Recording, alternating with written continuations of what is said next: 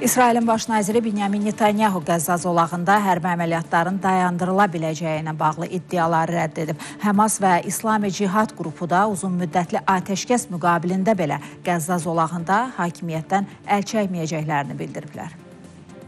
Qəzza zolağında müharibəyə son qoymaq üçün Misirin təklif etdiyi uzun müddətli atəşkəs planına nə İsrail, nə də Həmas müsbət yanaşıb. Qahirənin girovların mərhələli şəkildə azad edilməsini və Fələstin ərazilərində texnokratik hökumətin yaradılmasını nəzərdə tutan planı birbaşa şərh etməyən İsrailin baş naziri Benyamin Netanyahu rəhbərlik etdiyi Likud partiyasının üzvləri ilə danışarkən müharibənin hələ bitmədiyini deyib və hökumətin hərbi əməliyyatları dayandıra biləcəyi ilə bağlı medianın yaydığı iddiaları rədd edərək bildirib ki, İsrail ordusunun Qəzza zolağında həyata keçirdiyi əməliyyatı başa çatdırmaq hələ çox vaxt aparacaq. Anklavda ehtiyatda olan briqadanın yerləşdiyi yerə də getdiyini deyən Netanyahu vurğulayıb ki, hərbçilər ondan sona qədər mübarizə aparılmasını istəyib.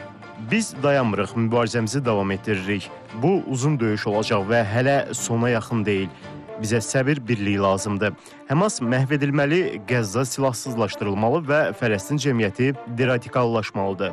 Ərəb dilli mediada çıxan xəbərlərə görə Həmas və onun müttəfiqi İslami Cihad qrupu da Misirin uzun müddətli atəşkəs müqabilində Qəzza zolağında hakimiyyətdən imtina etmək təklifini rədd ediblər.